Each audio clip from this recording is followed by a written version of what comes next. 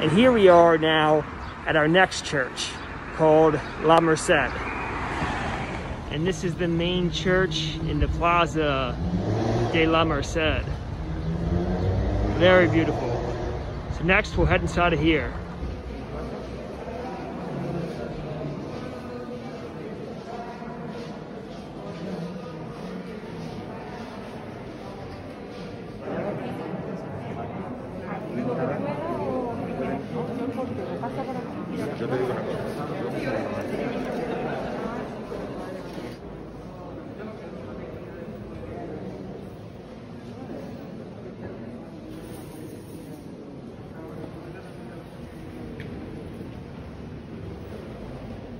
As I walk these streets on the way to the churches in Huelva, you can see that many of these balconies are decor decorated for Good Friday beautifully with pictures of Mary and Jesus and the colors of their local church and the symbols as well.